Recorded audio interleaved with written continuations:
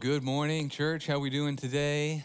So good to see everyone. Just want to give a shout out to those watching with us online, all those gathered in the house today. And I'm excited as we kick off the first part in our series called Coffee Mug Christianity. And we're going to be looking at some of the most well known favorite verses that are in the Bible that find themselves on the front of coffee mugs. And there's no better way to start your day with within some coffee, some morning wake up. Hopefully, not coffee like Folgers in your cup, but some sort of coffee. Do we have any coffee lovers in the house? I don't know about you, but I enjoyed that cold brew this morning and thankful for Matzi Coffee and David putting that on for us. Uh, but our coffee mugs, great way to start the morning, often have something motivational on them. You can find coffee mugs with things like this that when you wake up, man, they're just getting you excited for the day. Work hard, dream big, right? you've got a dream. I'm going to accomplish it. I got my goal. When, I, when I'm sipping my coffee, I can look at that. I get excited. Live every moment. Every moment counts, every day. If I'm still alive, I'm, I'm still breathing, every moment counts. And we can look at mugs like that as we're drinking our coffee, or for those maybe who aren't Christians, tea. Maybe if you're drinking that, but no, We've got our morning motivation, and there's no better place to kind of get that in the morning and get us encouraged and going through our day. And you can Google motivational mugs, and you can find websites full of mugs that are going to motivate you. And over the years, I've collected quite a few inspirational mugs. And it's not because I'm a collector or a hobbyist or looking for fresh inspiration, it's because I'm a teacher. And if you don't know, the most popular gift to give teachers, apparently, are mugs. And after 23 years of teaching, every December and May, my, my cupboards get full of new mugs.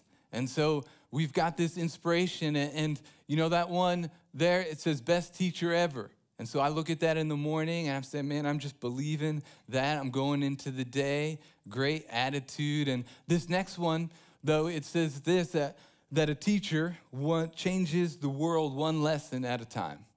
And that's great, one lesson at a time. I'm sure if we were to go around, we've all got maybe a teacher in our life as we look back who's made an impact on our life and we're investing in the future of America. And that sounds great, but probably on the other side of the mug, it should say that teachers can also lose their mind one lesson at a time.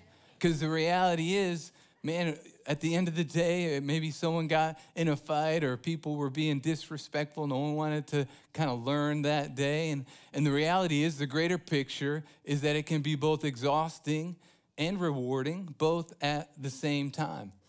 And see, the truth is, when we're looking at these common and, and well known life verses that will find themselves on the front of a coffee mug, we often don't see the whole context. We don't understand the full picture of the promise that is on front of those mugs. And we can understand that the scripture that we find, the verses that are in the Bible, are meant to encourage and correct and challenge and teach.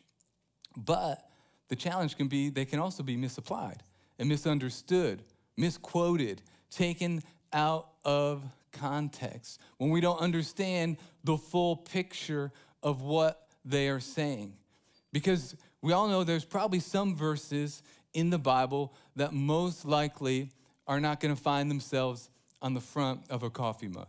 For example, if you're following along in the notes, Isaiah 34, 2 through 3, I haven't found this yet. It says, The Lord is angry with all nations. His wrath is on their armies. He will totally destroy them. He will give them over to slaughter. Their slain will be thrown out. Their dead bodies will stink and the mountains will be soaked with their blood. Now, I don't know, that's probably not the theme verse for the ladies' event coming up, right? That's, that's not making its way on any coffee mugs that we're giving out at church. It's probably most likely not gonna be there. And we're thinking, okay, so some verses maybe aren't gonna make it on front of the coffee mug. And sometimes people we know can kind of pick random verses and kind of use those verses to support their viewpoint or their agenda or kind of their uh, specific type of what they would think is the correct theology. And in fact, Christians have been accused of sometimes just cherry picking verses. The ones that we like, the ones that sound good, and maybe we'll ignore the ones we don't. And sometimes people will grab certain verses of the Bible to try to discredit the Bible, to get us to question our faith. And maybe you've been asked before and, and thinking through, okay, well, Jeff, do you believe in unicorns? And I would say, well, no. I mean, my girls like watching My Little Pony growing up, and that's a great little cartoon, but I don't think unicorns are real. And, well, did you know that unicorns are in the Bible? I thought you believed in the Bible, and nine different times it talks about unicorns in the Bible. Isaiah 34 7 says this And the unicorns shall come down with them, and the bullocks with the bulls, and their land shall be soaked with blood, and their dust made fat with fatness. Now that's a crazy verse. And, and people will look at verses like this, people who are critical of the Bible or want to challenge things and say, hey, did you know really the whole Bible is full of just mythical stories of whales that swallow people and unicorns that soar through the air and mountains that are soaked with blood. We read these stories and they'll, they'll kind of say, well, maybe the Bible is dangerous. Maybe the Bible isn't to be trusted. It's full of things that we can't even depend on. And Dan Kimball, in, in his book, How Not to Read Your Bible, recently read this book and it brought about a lot of great ideas on how we can defend our faith. And, and this book says it's making sense of the anti women, anti science, pro violence, pro slavery, and other crazy sounding parts of Scripture. If you're a student of the Bible and you've read through Genesis all the way to Revelation, you know there are some puzzling parts of Scripture. There are some parts of scripture that maybe sound like they're, they're crazy. Like, what is happening here? Mountain soaked with blood and, and, and people being killed off, and maybe pro slavery, and all these different ideas that people will take and kind of try to run with that. Well, maybe the Bible can't be trusted. Maybe the, the Bible isn't the place to go for answers. But what we need to understand is that context controls the meaning of Scripture. Context and understanding the context of the greater picture is so important when we're reading through Scripture. Dan Kimball says this he says that never read a Bible verse. Never read a Bible verse is a reminder that every Bible verse is written in a context, in a specific time period, for a specific person, and every Bible verse fits within a larger story. We need to understand that context controls the meaning of Scripture. And what the good news is, if, if you're wondering how can I dive deeper into the Bible, how can I make sense of some of these commonly objected to scriptures? How can I understand how to defend my faith and the inerrancy of Scripture and things that people will pull out and say, this is why the Bible should not be true?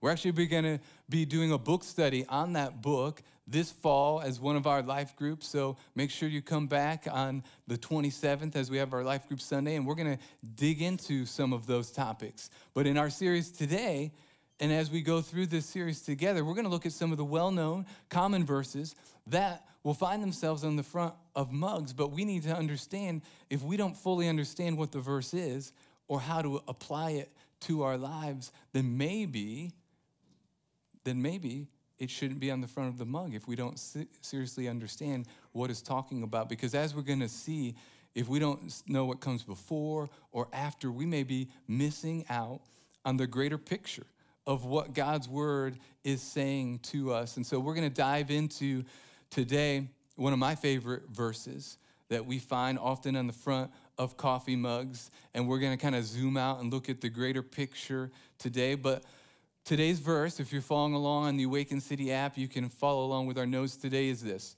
It's Romans 8 28. This is our very first mug in coffee mug Christianity. Romans 8 28. And this is a great verse. This is a great promise to have. But the question would be sometimes it can be misunderstood. Misunderstood to believe that God only will bring good things in our life that life is supposed to be comfortable, that around every corner there's something good. Every dark cloud has a silver lining. If you just go far enough over the rainbow, there will be the leprechaun with the pot of gold. You just got to believe it. And we can have these ideas and kind of misinterpret what the promise is. And so today we're going to uncover, we're going to unpack, we're going to kind of zoom out and try to understand, you know, who was this book written to? Who wrote it? What is the context? And we're going to look at the verses before and after to get a picture of the promise of Romans 8 28. And so we're going to begin this morning looking at the book of Romans. When we think about who wrote the book, we know the Apostle Paul wrote the book of Romans. He wrote a little bit more than, than half of the New Testament under the inspiration of the Holy Spirit. Paul wrote this book to the church of Rome. He wrote it from Corinth in AD 57. We know that he was writing to the Christians there to try to help them understand what the gospel is. What are the implications for our life in the gospel? What does it even mean? And it's full of so many important themes within the Bible. In fact, the book of Romans has been considered by many to be the single greatest book on Christian faith that's in the Bible. It's all about sin and salvation and reconciliation and redemption and God's grace. It's full of these wonderful things. It lays out in a clear and concise and well ordered way what the gospel is all about. But what we also know is what's interesting is Romans 8, chapter 8, is considered by many theologians to be the greatest chapter in all the book. In, in all of the Bible, the greatest chapter is often referred to as the Great Eight. In fact, Donald Grey Barnhouse said that if you were to drop your Bible on the ground, that it should automatically open up to Romans chapter 8 because it's been turned to so many times. That if our Bible just happens to fall on the ground or gets knocked off the shelf, that it should open up to Romans chapter 8 because we've turned to it so many times because it's full of so much of what the, the richness of what the gospel story is. It's about grace in the gospel and about the glory of God, and it should be turned to often. And so when we understand the book of Romans and, and Romans chapter 8, and look at the verses that come before and after 828, we begin to understand what Paul was trying to help us as we live out this promise that was given in God's scripture. And so this morning we're going to read verses 26 through 30 together, and then we're going to unpack some of the truths that we can find about this promise. And this is what Romans 8 26 through 30 says it says, Likewise, the Spirit also helps us in our weakness, for we do not know what we should pray for as we ought, but the Spirit Himself makes intercessions for us with groanings which cannot be uttered. Now he who searches the hearts know what the mind of the Spirit is because he makes intercessions for the saints according to the will of God.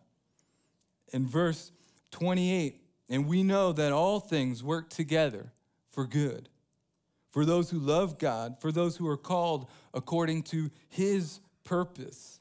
For whom he foreknew, he also predestined to be conformed to the image of his Son that he might be the firstborn among brethren. Moreover, whom he predestined, these he also called, whom he called, these he also justified, whom he justified, these he also glorified. And so, if we're going to begin to understand this verse and the promise that's from it, we have to be, begin to first look at what this word good means. Because my idea of good and your idea of good and God's idea of good may not be the same. For example, many of you know probably that uh, Pastor Billy is an avid cyclist. He loves to get up early, and you can follow on social media his rides and adventures down A1A, and, and he loves it. But if you were to ask me, do I want to get up at 5 a.m. and, and fight the crazy traffic of Florida and in the heat. I would say that's not my idea of a good time. I like the stationary bike. I like to sit where I can be in the AC and watch the TV. That's what I would want. We can look at, there we go, we can look at the same situation, the same set of kind of circumstances, and, and one person says, Yeah, that's good. The other person, not so much. For some, they may love fishing. I love to go out to fish and it's relaxing, it's fun. Other people, not my idea of, of a good time, right? Because it's boring or I never catch anything. It's messy, it's smelly, and, and I don't want anything to do with fishing. Some people on their day off, the place they want to be is the beach. I want to be at the beach. I want to soak up the sun and just be near the waves. And other people say, no, it, it, the sand gets everywhere. I got to clean the car. It's crowded. It's too hot. You know, put me at, at the pool under the umbrella because that's not my idea of a good time. And so, what we need to understand well, well, whose idea of good are we talking about? What does good actually mean? And so, the definition of good needs to be understood to understand the promise that is revealed in this, this verse. And so, we begin with that the definition of good. The first part of Romans 8:28 is often the part that gets on front of the coffee mug. But they often don't maybe put the second part that is for those who love God those who are called according to their purpose. But then we got to ask ourselves, well, what's the purpose? And that's where verse 29 helps to understand what the purpose is. Verse 29 tells us this For whom he foreknew, he also predestined to be conformed to the image of his son, that he might be the firstborn among brethren. So, God's purpose in the good and the bad is that you and I would look more like his son Jesus. That's the purpose. That each and every day that we would look more like Jesus. And so the definition if you're following along is that to become more like Jesus in our everyday lives. The primary good that Romans 8:28 is pursuing is not a better circumstances, a, a better house, a better job, no, it's a, it's a better you that becomes more like Jesus, that looks more like Jesus. That's the good, that's the context of what this is talking about. That that's what God's will is for you. That's his ultimate goal that with the circumstances that we come at that come at us each and every day that that they're working at us and developing in us character and more of the likeness of God. And Paul is not saying here that everything that happens in life is good. He's not saying that that cancer diagnosis is good, that that betrayal from a friend, that job loss, those, those things that are hard and painful and difficult, he's not saying that those are good. And we can look at certain events and we can look at things in our life and we say, well, I can't see how God could use that for something good. I can't see the good in that. And this is this is hard and we wonder why life is so hard. And there are some things that we walk through that aren't good. But David Guzik reminds us of this. He says, God is able to work all things, not some things. All things, it says, he works for the good together, not in isolation. That together they're working. Paul's not saying that all things work out the way we want, that all sickness is healed, that uh, every problem is, is overcome immediately. That's not what Paul is saying. But he is saying that God works in all things, that God works behind the scenes for our long range good, that ultimately God has a plan and a purpose, that he can work those things together for good. And so we got to understand, he also says, though, that it's, it's a promise for those who love God and those who are called according to his purpose. The promise are for those who believe that you and I, that as believers, that we can have confidence that God is in control.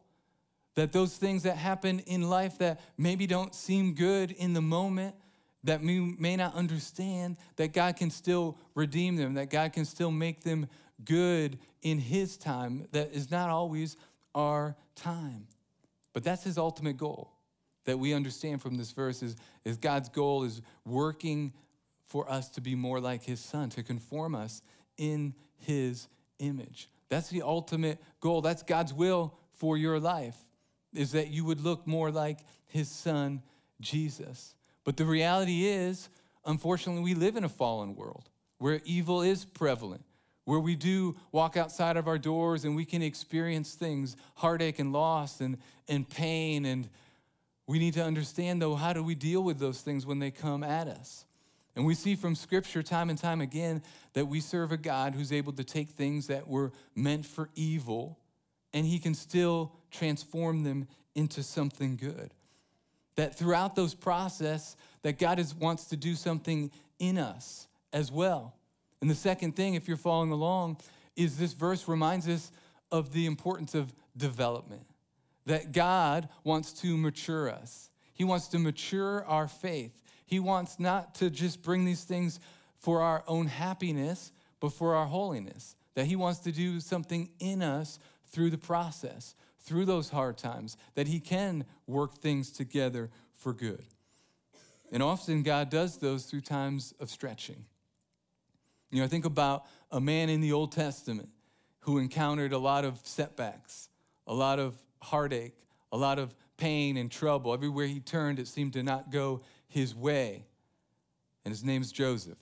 If you know the story of Joseph, Genesis 37 through 50, you can read Joseph's story. And he begins as this young man who has this dream that one day he would lead the family.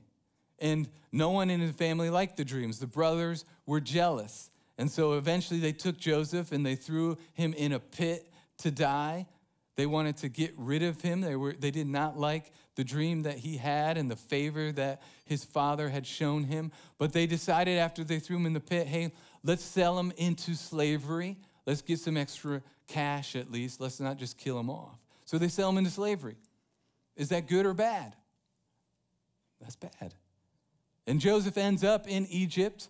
He works his way up. He remains faithful to God. He becomes uh, in charge of Potiphar's house. And you know the story that Potiphar's wife one day hits on Joseph, tries to seduce him, but Joseph says no, and he sticks to what he knows is right. And that decision lands him in prison.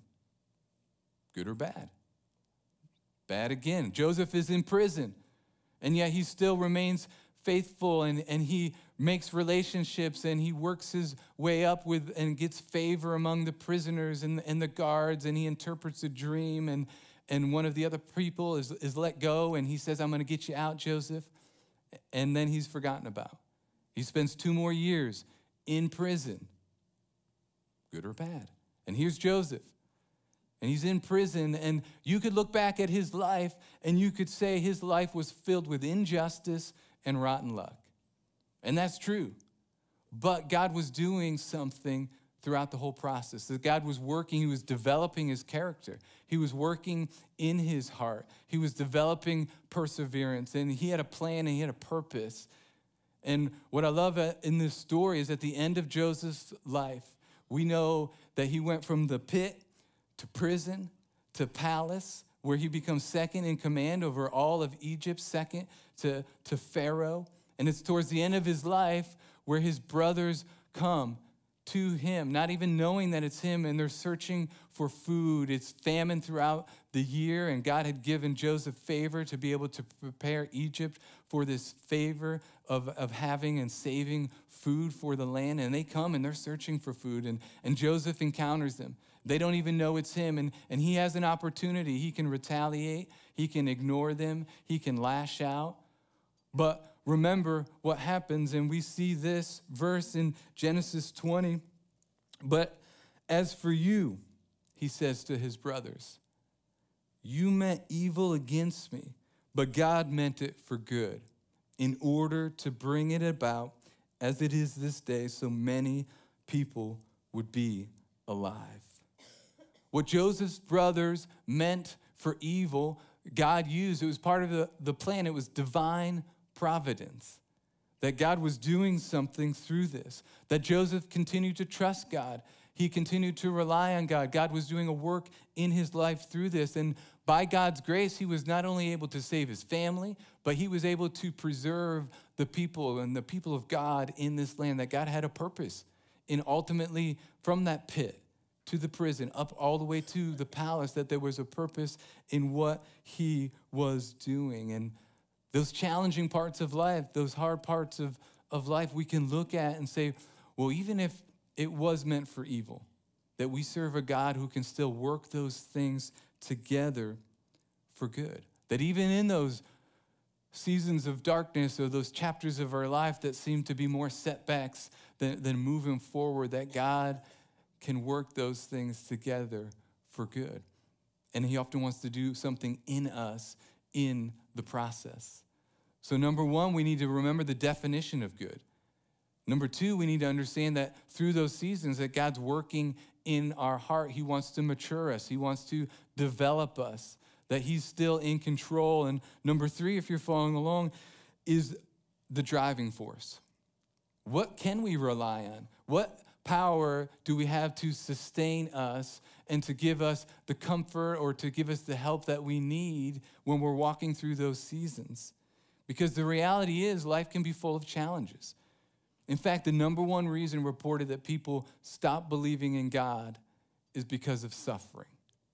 They say there is no God. Look at the pain and suffering. Look at what happened in my life. That would, that would never happen if we served a good God. And, and look at these things. And, and, and this idea of suffering keeps people from believing in God. And maybe you've experienced some of those things and you've asked those questions of, of why and why did my parents get a divorce and why did I get this chronic illness and, and why did I get this job loss? And we can begin to wonder why are things so hard? But we've got to remember that Romans, that Paul is writing to, the, the people of Rome, they were dealing with challenging times as well. They were going through seasons that were hard for them. And what I love about Romans chapter 8 is it is full of a reminder of who our help is and where we get our power from. In fact, in the book of Romans, chapter 8, it uses the word Holy Spirit 19 times. 19 times in chapter 8 alone is all using the word Holy Spirit to remind us about our where we get our power from. If you remember Jesus as he ascended up into heaven, he told his disciples, I want you to go and I want you to wait because when I send the Holy Spirit, you will receive power. And one of the greatest mistakes that we can make is to try to do God's will without God's power. That we've been given the power of the Holy Spirit, and throughout Romans chapter 8, verse um, chapter 8, we see Paul continue to say it. And I want to revisit verses 26 and 27 as we look at this strength that was given to sustain us through those hard times. Paul tells us this likewise, the Spirit also helps in our weaknesses, for we do not know what we should pray for as we ought. But the Spirit Himself makes intercessions for us with, with groanings that cannot be uttered. Now, He who searches the hearts knows what the mind of the Spirit is, because He makes intercessions for the saints according to the will of God. That you and I, even if we don't know what to pray, we don't know what to say, we're in a moment where we're just filled with grief or we're filled with heartache and we don't even have the words to say. This scripture reminds us that as believers, we have someone who advocates on our behalf, that will go in, front of the Father and is able to pray on our behalf according to God's will. That we have this power to sustain us, that even when we don't know what to say, that when we're going through these difficult times, that the Spirit is joined inside of us to help us and to be able to express to the Father what we're going through. And I love what A.T. Robertson says. He puts it this way The Holy Spirit lays hold of our weaknesses along with us, and it carries his part of the burden facing us as if we're carrying a log, one at each end. And I love that, that picture that whatever we're carrying, whatever the burden is, whatever the weight is, that we're carrying this long uh, log and, there, and there's someone on the other side. It says the Holy Spirit is there, that He's working in us, He's working through us, that He's our advocate. He's come to comfort, to help, to convict, to strengthen, to empower and that we don't have to go through those hard seasons alone. It says that the Holy Spirit is there to give us power, to give us strength, that we have someone on the other side that is always walking through us, that we're never alone, that the same power who raised Jesus from the dead is alive in us, That's found in Romans chapter 8 as well. That wonderful promise that the same power that rose Jesus from the dead is alive in you and me. And sometimes the greatest mistake that we can make is to try to do God's will without God's power. And in this chapter, we get that reminder that we need to understand the definition of good. We need to understand that there's development, but then also that we've been given this driving force. We've been given this power to sustain and to help us, and who's our advocate that goes to the Father even when we don't know what to say. And so, the fourth thing that we can see as we're going through is dependability. The dependability, when we read Romans 8 28, when we read the promise that is before us, that God can work things together for good, can we really depend on that promise. Because a promise is only as good as the person who's making it, right? I could promise to show you how to surf. Hey, this is how you surf. You got to get up quick. You got to get your balance. You got to catch the waves. But the source isn't reliable because I've never surfed. I don't know how to surf. I've seen people surf. I've seen people and watched movies of people surfing, but, but the promise doesn't line up with the ability. I don't have the ability, the authority, or the track record to teach you how to serve. But we go to this promise, the promise that's given by God, and this is given by the creator of the universe, the Alpha and the Omega, all powerful, all knowing. He's never failed, he has a track record. He has a track record throughout Scripture of taking those things that are ashes and turning them into something beautiful. He's taking those things that are broken and restoring them.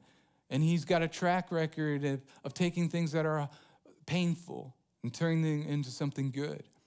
And I think there's no better picture of that than the cross. That Jesus was beaten and betrayed and shed his blood on the cross for you and for me. But God used it to redeem humanity, that out of death came life, life everlasting, that God is our, Jesus, He's our living hope, that what was meant for evil, that this shedding of blood was something that was meant to redeem all of humanity, that God is able to take those things that were meant for evil and turn them into something good, and He's got a track record. He can be depended on, that He is able to put those things together. And so when we think about the things that we're given and dealt with in life, those hard parts, we've got to understand the greater perspective when we're handed those puzzle pieces of life. And I brought this puzzle this morning. I've got three daughters, they love to do puzzles, me, not so much. But when they're doing puzzles, here's what I know is they always have to have the the front of the puzzle out to look at. They need the front of the picture. This one says dog days. I thought it would be good since we're kind of in some dog days of summer right now. It is hot out there. But if you can see, when you're putting a puzzle together, you've got to have the picture before you. You got to have the goal in front of you. You got to understand what the picture is as we're looking at those. And so when we get looking at the kind of the puzzle of life, we need to understand what the ultimate goal is. And as we've established today, the goal, the ultimate goal that God has for us is that we would be conformed to the image of his son. That's the picture that's on the outside of the puzzle box of life. And so when we are given a puzzle piece of disappointment, a puzzle piece of discouragement, of, of sickness or whatever, what we often try to do is hold it up to a puzzle box of comfort, of, of control, of health and wealth. And yet, those puzzle pieces, when we understand the greater picture, that no, they're making us into the image of Christ. When we understand the greater picture, then it puts it in perspective because each one of those pieces has a final and ultimate goal, that God is working those things together for our good. If God is for us, who can be against us?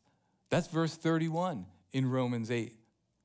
And so we get these wonderful promises about what God wants to do in and through our lives. And I want to end today by sharing verses 29 and 30 again as we reflect on the meaning of what this wonderful promise is. And verse 29 through 30 says this For whom he foreknew, he also predestined to be conformed to the image of his Son, that he might be the firstborn among brethren. So we understand what we're to be conformed to. But then he says in verse 30, Moreover, whom he predestined, then he also called.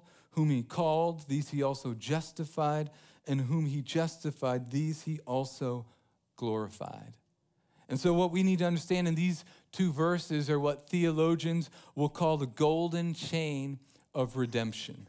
The golden chain of redemption, there's five chains that are unbreakable. The five chains that would be referred to is that God, who he foreknew, he also predestined. Those he predestined, he also called. Those he called, he justified. Those he justified, he glorified. And so we understand what this promise is that there's this promise of eternal security. And sometimes we'll read a verse like this, though, and we get caught up in the P word predestination. People begin to lose their mind. Are we talking about election and free will? And, and, and people will debate all those sorts of things, which is fine. If you're in our 201 class on minor doctrine, we go down this idea of election and free will and the sovereignty of God.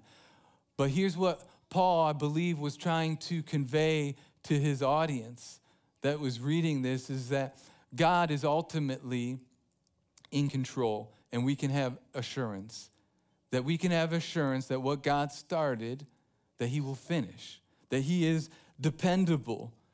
And I don't know if you noticed this, but the very last word in verse 30 there was glorified. And glorified is in the past tense, but yet it's referring to something that has not yet happened.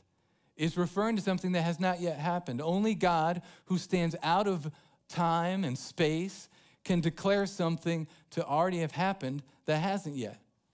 Only God can do that. That we will one day be glorified. That means that we will be like Jesus, that sin will be removed.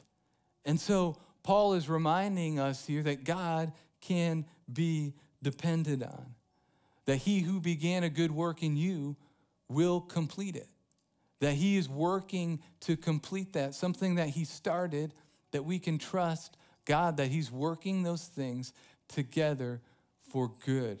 It's already happened.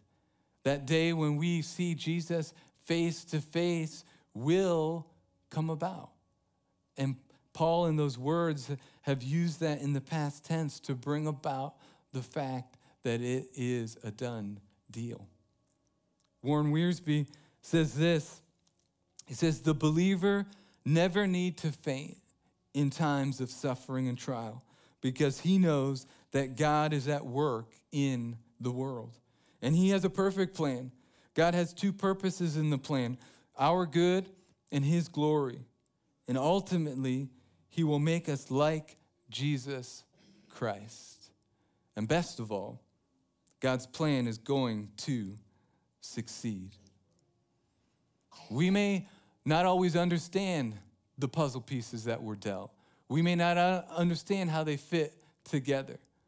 But what we understand what the final picture looks like. That the final picture is being conformed like, like Jesus. That one day that we will rise from the grave in glorified bodies. We will see Jesus face to face. We will be like Jesus and with Jesus. And what does that mean? Well, it means no more doctors, means no more pain, means no more sickness, no more heartache. That there will be a time when that happens, when we see Jesus and when we're risen up with him into the new heaven. But what does that mean for you and I here and now? Well, it means that God's dependable. It means that the Alpha and Omega, the God who can look at the beginning of time and he can look at the end of time, that he's able to work all of those things together for good. That what he started, he's going to finish. The work that he's doing in our lives, that he will bring about completion. Because that's the type of God that we serve. He is the Alpha and the Omega. And the picture on the front of the box, the understanding of what the ultimate goal in life is, is so important. And as we end today, I want to read together Romans 8 28. If we'll put that up on the screen as we begin to understand the, the perspective and the clarity that we get from this wonderful promise that we find in Romans 8 28. Let's say it aloud.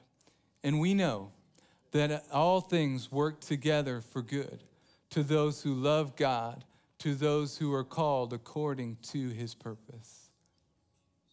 And so when you're going through a hard time, where do you go to for hope?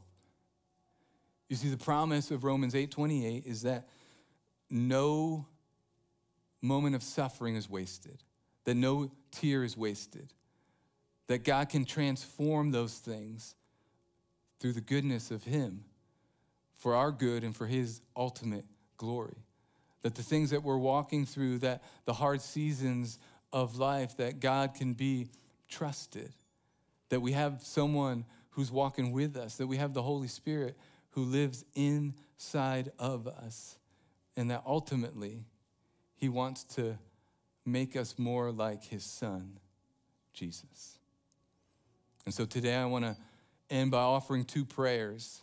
And the first prayer is that today we would really settle in our hearts this belief, this understanding that, that God's goodness can transform those things that are even hard in our life, that it would go from just our head, but to our heart about the goodness of God, that He has the ability to work those things together for good. But the second prayer will be for those here today who maybe say, I've never gotten that relationship with God right. And I want my sins forgiven. I want that hope of heaven. And I have yet to say yes to Jesus. That second prayer will be for you. Let's bow our heads.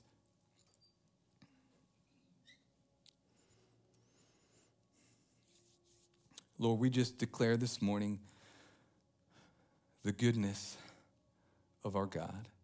That if God is for us, who can be against us? And Lord, we don't always understand the things that we're walking through and the hard times that we may face. But Lord, we believe today the promise that you can work them together for your good and your timing.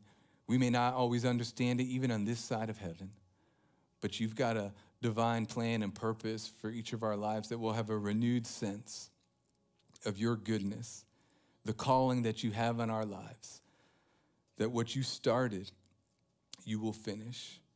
And Lord, may we be a light for you in our world. And as we continue to pray, if you're here today or watching with us online and you say, Jeff, I think that second prayer is for me, I've never made that decision. And I've never said yes to Jesus and invited him to be the Lord of my life. And if you're here today, I want to include you in that second prayer. And if you'll just raise your hand and say, Jeff, today I want to make that decision. I need to get my relationship right with Jesus. If you'll raise your hand, I'm going to include you in that prayer. If you're with us online, you can hit that button that said, I made a decision today. And simply surrendering and saying that God is the only one who can save. It's through a relationship with his son, Jesus. As we pray together, we're saying, Lord, come into my heart. Forgive me of my sins. I repent and I turn towards you. Fill me with your spirit. Give me life and hope and the everlasting life that comes with a relationship with you. It's in your name we pray. And all God's people said, Amen.